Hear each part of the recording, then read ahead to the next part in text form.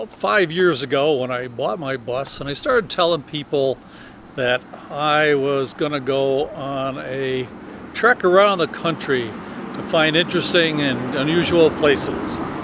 And almost universally, they all asked if I was going to find the world's largest ball of twine. Well, I found it. We're in uh, Cawker City, Kansas, and let's see, this was started in 1953, so that ball of twine is as old as I am, but it's what, 8 million 8,300 or 83,640 feet. At this point weighs 20,078 pounds. So it weighs uh, about 3,000 less than my bus. And, but this is 43, 43 feet around in circumference.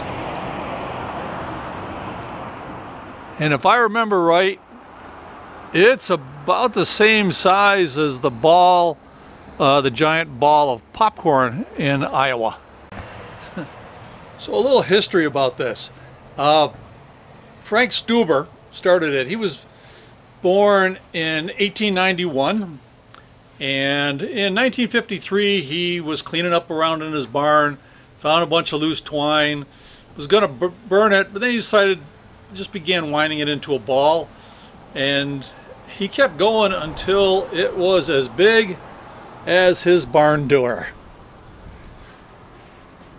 And three years later, the Salina Journal published an article about it. At that point, it measured uh, 7 feet 5 inches and weighed 4,000 pounds.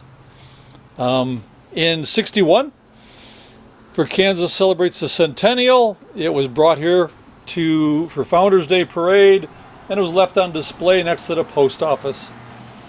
Um, in 62, they built a geodesic dome over it.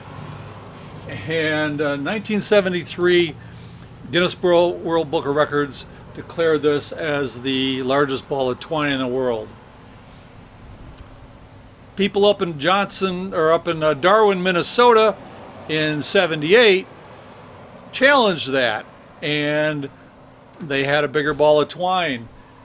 So uh, they, in 1982, the city here decided to have an annual, uh, what they call it, Twineathon.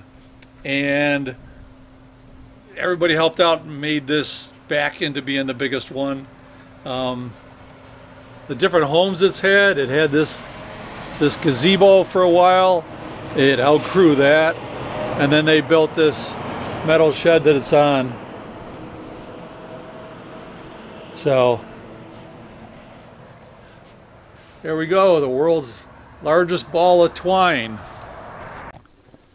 So just outside of Lebanon, Kansas, about 30 miles away from that giant ball of twine, at, let's see, um, I gotta read it here, latitude 39 degrees 50 minutes, longitude 98 degrees 55 minutes, is the geographic center of the continental United States.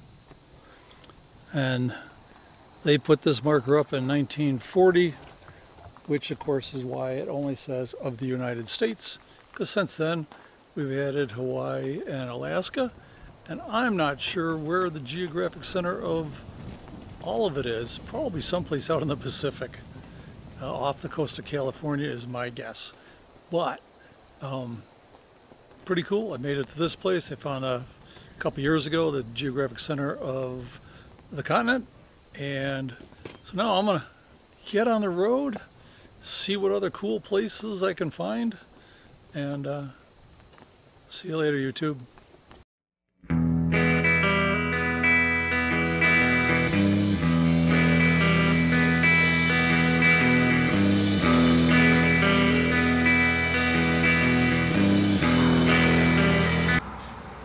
When I was about to get on the road, a whole lot of people gave me a quest Find the world's largest ball of twine.